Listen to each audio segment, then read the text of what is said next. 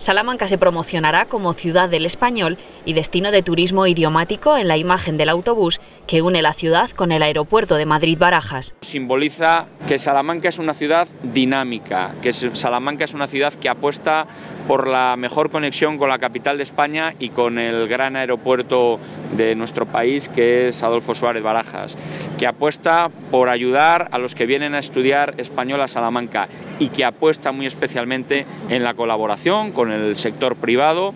con el grupo Avanza, este grupo empresarial tan vinculado con la ciudad de Salamanca. Un acuerdo entre Ayuntamiento y la compañía Avanzabus, firmado con el objetivo de promocionar y difundir Salamanca como destino para estudiantes y profesores de español.